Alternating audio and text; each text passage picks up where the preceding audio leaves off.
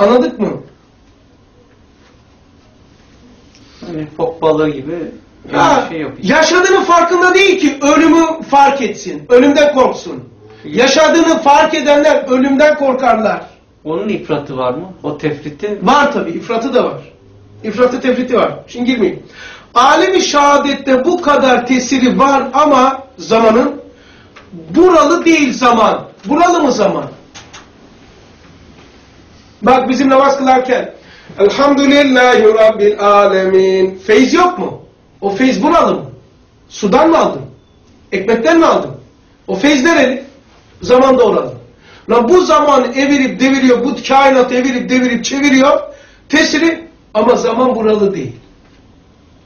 Nüfus kağıdı yok ha zamanın. Ama mahluktur bir de.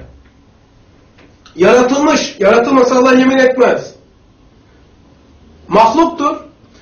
Canlıdır zaman. Ruhludur zaman. Şuurludur zaman. Kime ne kadar tesir edeceğini biliyor zaman. Ondan herkese farklı akar zaman. Zaman herkese farklı akmasının sebebi zamanın canlı, ruhlu ve şuurlu oluşudur. Kime nasıl akacağını bildiğindendir. Herkese farklı akar. Bu gelecek tarihte ispat edilecektir. Zamanın canlı ve ruhlu şuurlu olduğunu, mahluk olduğunu, vücut haricisi olduğunu. Ama Yahudi medyası gibi medyamız olmadığımızda zaten öyle bir daimiz yok. Zamanın zaman hakkında bu söylenen gelecekte tapu gibi olacak. Canlı ve ruhluymuş. Şuurluymuş kimi nasıl tesir edeceğini zaman biliyor.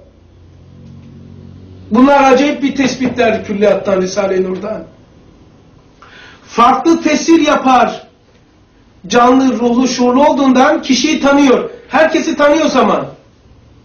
Allah'ın yemin ettiği bir şey şuursuz değil o. Çünkü nerede çıkartıyorsun kardeşim? Kodluyorum. Denizli, Edirne, Hatay, Rize. Der, der esmasıdır. Der. Yani esma cansız olur mu? Esma şuursuz olur mu? Esma ruhsuz olur mu? E buradaki e, zaman der esmanın suretidir. Ahiretteki der esması hakikatıdır. İnsanın ruhunda ise zamanın mahiyeti vardır. Esma canlıdır ya.